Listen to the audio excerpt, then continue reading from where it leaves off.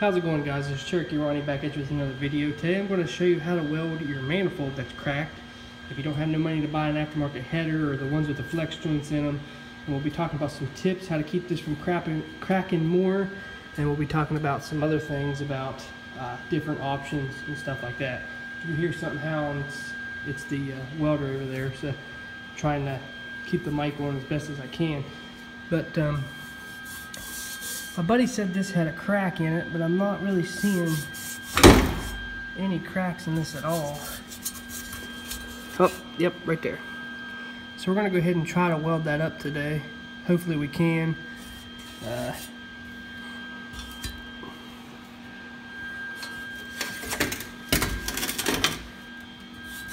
you wanna drill a hole here, drill a hole over here to keep it from uh, from going any farther. That's the best way to do it, then weld up the hole, then weld up the crack. Now as you can see, the crack runs right along this weld. That's a stress crack, stress crack, stress, that's a stress crack all the way along this weld. So what we're gonna do is weld it up. And yes, the studs are broke out of this, but I, I pound them out and put bolts in them.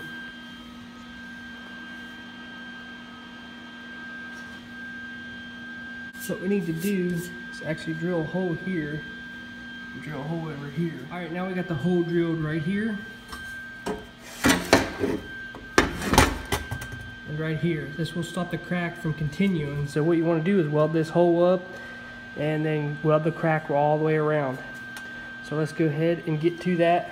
Um, that probably was too big of a hole really. You can get a smaller drill bit if you want. I mean that ain't too big, but could have been smaller. This stuff ain't too hard to drill through. This stuff is kind of junk anyway from the factory. It's weak anyway. Let's go ahead and weld it up.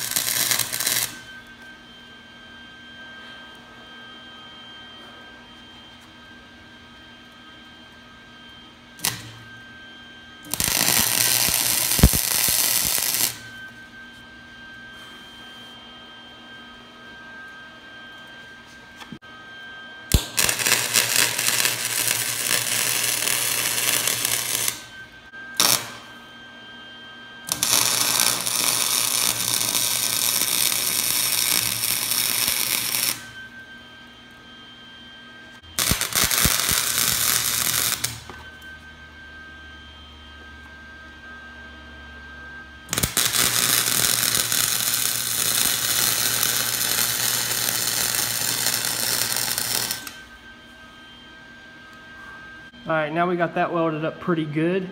Um, it shouldn't crack no more, so we're gonna go ahead and look for more cracks. And I'm gonna show you a tip to keep it from cracking in the future. Then we'll be talking about why it cracks and you know the big the big myth of why these are junk. I'm not finding any more. Oh, right here. Got another crack. So we're gonna have to weld that one up. And I think that's it.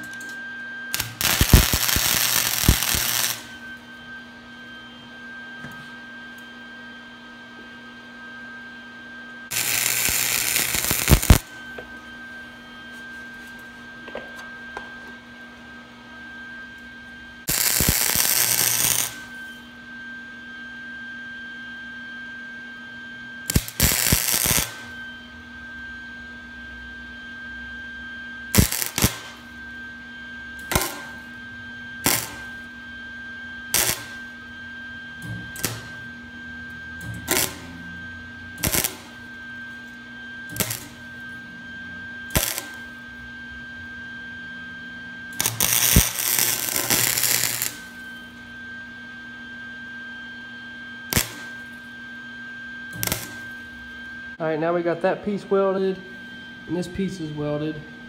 So let's go ahead and talk about uh, what we're going to do next. I went ahead and went over this off camera. There's no more cracks in this thing whatsoever.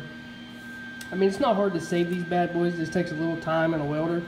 But after you get all the cracks welded up, drilled and welded up, here's what you want to do. See this? You want to put you a bead right here. Keeps these pipes from flexing back and forth. And you can get a piece of a piece of flat stock and put across there like I'm going to do here in a minute and show you. And uh, that way it'll keep it from flexing. Because what these things do, what these things do, um, your motor mounts get bad or they get kind of loose. I recommend going and getting uh, Brown Dog Off-Road aftermarket mounts for the motor side and the uh, unibody side, the Jeep side.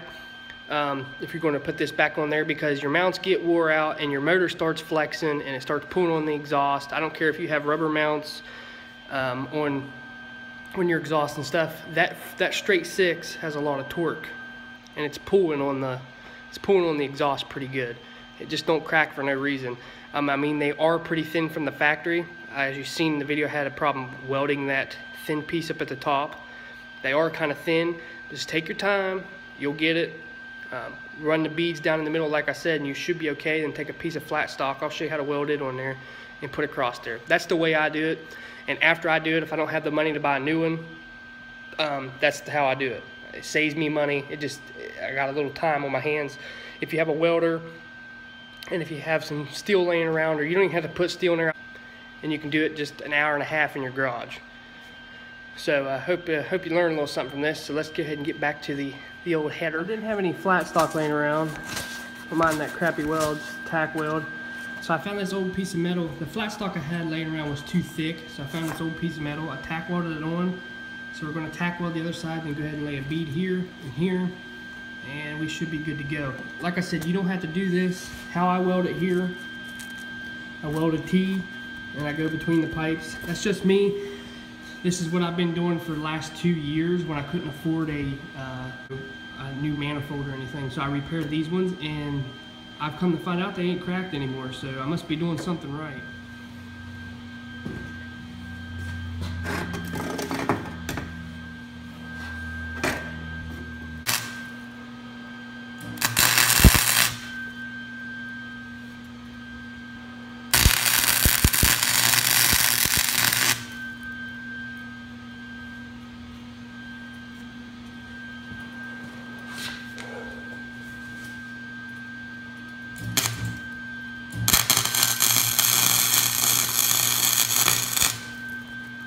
As you can see there, went a little crazy, went kind of around.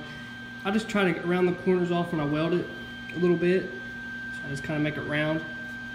And what you can do, like I said, I got this welded, that welded, that piece welded. So I just kind of weld around it in kind of a U shape and kind of melt the metal together. And uh, that's what you do. Works pretty good for me. I hope it works for you if you take my advice, or if not, that's all right. I just thought I'd share this with you guys. And I can show you that this is melted in the metal pretty good. I'll tap on it a little bit. I mean, it's pretty solid.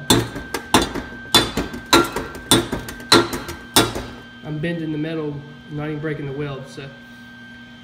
I've just got this, got this welder, so kind of still getting used to it. It's the uh, Lincoln Electric 125 HD Weld-Pak.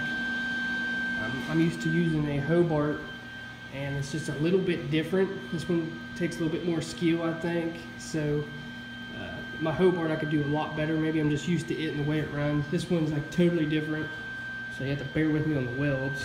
but hey, I think they look pretty good. Here's the finished product. Maybe I can paint it up, make it look good. looks kind of rough now, but so this is what the finished product looks like. Um, I didn't bother cleaning up the slag because it's going to be under the Jeep anyway. I didn't bother cleaning this up because it's going to be on the side of a Jeep, so it doesn't matter. So I went ahead and welded this up, welded that up. Like I said, I'm not perfect at welding. I went ahead and made the T-shape that they do online all the time, and I went ahead and welded the tab on. I'm sure if I would have cleaned it up, it'd look 10 times better, but it's not going to be perfect. So. Anyway, this should last the life of the whole Jeep. So. So I thought I'd give this little manifold header or whatever you want to call it. I call it a header tip. Um, this is the way I do it, and it's the way I've been doing it for the last two years, and it's been holding up just fine. When my other Jeeps, I know my other Jeep, uh, I just put a new manifold on with the flex joints. I'm actually doing this for a buddy, but uh, they hold up just fine. And he's seen me do this before, and he knows they hold up, so that's why he wanted me to do it this way too. The, the welder's a little funny. I got it brand new for my birthday. Just not getting used to it yet. Should have practiced a little bit before I used it, but trial and error. But um, I do have parts coming for the Project Jeep. They're finally on their way after the snowstorm melted away and all this crap. And I got some, you know, I got a lot of surprises coming here in the next, I'd probably say week, next week. Uh, the metal shop's um, ordering the 2x6 for the rock rails for my Jeep.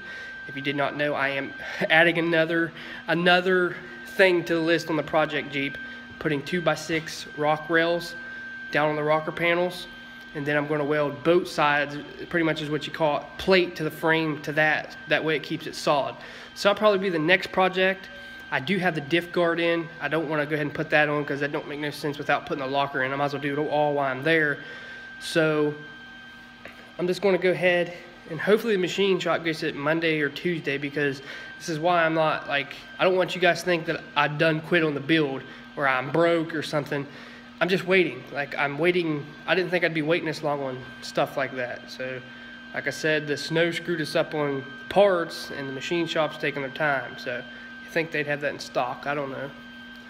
Hopefully, we can get it and get that done. Cut the rocker panels out. There'll be a video on that, and I'll probably do a video on the uh, Lincoln, the new Lincoln welder I just got. So go ahead and check that out. But anyway. All my social medias are down below if you want to follow me on those Facebook, Instagram, and Snapchat. You better do so because you see things, personal life, and you can see things that before they even come on video.